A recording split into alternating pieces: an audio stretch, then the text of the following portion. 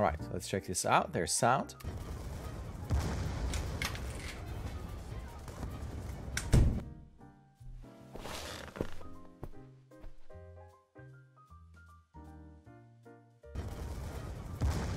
All right.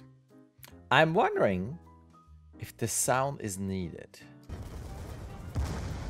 Get all that, it's cute. I mean, you know, it feels like actiony stuff that might be too adult for a little kid and they shouldn't be playing this. And then it's all quiet. But then after that, it feels like there could be more sound with him. She could be maybe saying something he could have something. It feels like you're you're getting into that kind of a pit of adding more foley sound and more extra sound where this this feels like there's just just like one layer and that's it. Just throwing that out there, but I'm gonna turn off the sound just to concentrate on the animation here. I think for the beginning, that's okay. The moves here feel a bit soft there's something about how this wiggles back and forth that I think I would I would amp up a little bit. Given his little arms and his age, it's going to be just a bit more, I wouldn't say erratic, but just a bit harsher. And when he does this, it's a bit of a bummer because now we're starting to kind of overlap. And it gets a bit messy with this silhouette and then you're getting kind of close to this. I wonder if you could, that's a bit destructive, but going almost the other way where he's leaning this way and has his arms there. So then you have um, you know, the, the pad out in the open for silhouette. I mean, you know, the body could be here, arms could still be here, so you have that right in front of that collar silhouette.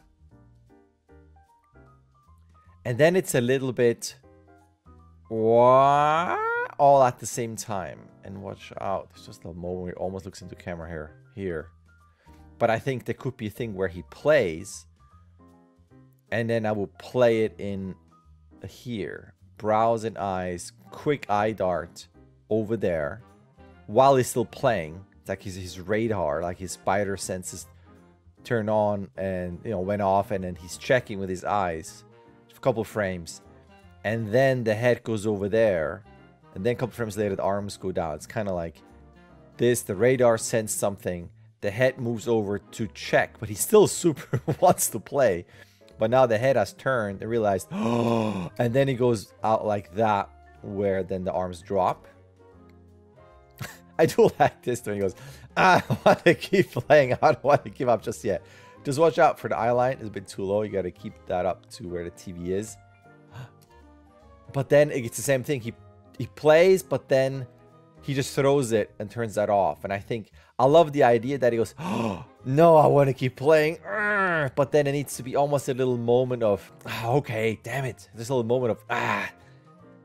Even if it's, you know, not too rushed, but enough of a little beat of, he tried to play one more time, ah, like a big sigh in frustration. Then he throws that. This is a bit slow. Watch out the timing of this.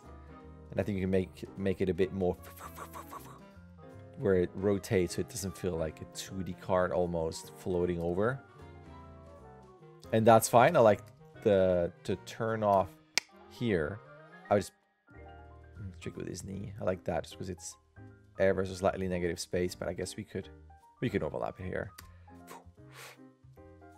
And I think I wouldn't go over well, hmm. He's probably looking, you know, did it really turn off the TV? But I don't know if at this point he's done so much that at this point I would look at he's checking where the mom is versus TV. Or it could be something where he does this, checks the mom up there. He doesn't have to check here just yet, maybe. I know we're communicating well. That's where I'm headed. It's tricky because you have te technically this to show this and that. And out of that, I would almost like go over the TV and stick to the mom, where it's almost like okay, gotta go over. Let's communicate that to the audience. I gotta go over there. And then instead of this, it's the mom, where he might have this moment of teeth. That's my, my tooth drawing here. Clenched teeth. Almost, almost. Versus the TV. And then he does that. And I think this could be a thing of, this is almost too clean. Like a superhero moment. It's a bit twinned. I would, I don't, for me as a kid, panicking, struggling, you almost have a bit of a slip with one of the legs, one arm could almost, you know, flail a bit. But again, this, like to me, it's also the landing, which I remember last time was a bit too clean. Like imagine he gets up, slips a bit, slips with this one, so he doesn't jump as far. I know these are very destructive notes, but just right now looking at this, he would try to jump, slips a little bit, and then the jump isn't this. It's more like, oh, and he only lands here. Like the head of here is here. And then he brings out his, his hands to pull himself towards there, like a last minute little shuffle to really draw out that tension and panic. And then the mom comes in. And then, then it would be more like, hey, bit of a smile. You know, like instead of looking over, nothing. And then, uh, to me, it's more like, I'm totally fine. Hi, mom. And then, see? And then you can have a smaller one because the guild sets in and all that. And that's probably it. For the mom, watch out, there's some pops there in the legs and the knees. A little bit of a stop and go in the root. It suddenly accelerates and then suddenly stops. It could be something where also then the silhouette gets a bit wonky. I will probably, you know, you can play it as in she probably knows because moms usually know.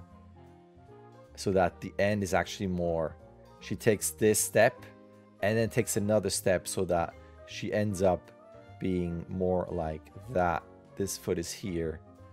Your that where you know it's out in a triangle like very strong pose it can almost tap the foot a little bit going I know what you're doing it's a little bit of foot acting for that versus this was like she's stuck in a half step of something with kind of a, a, a mushy little um, silhouette there